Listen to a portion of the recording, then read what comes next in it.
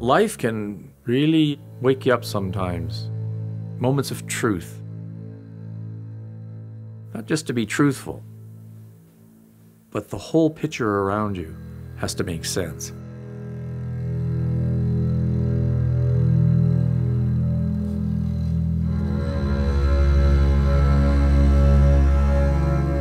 And, you got to remember, you have this guy that has all this strength in him, a body and mind. You know, he's not a regular person. This guy is prime shape.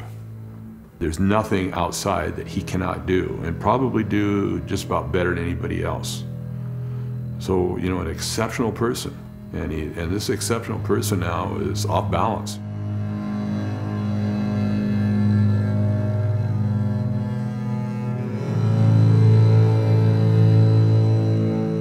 I think he came out of there with a kind of blazing, kind of Old Testament desert father clarity.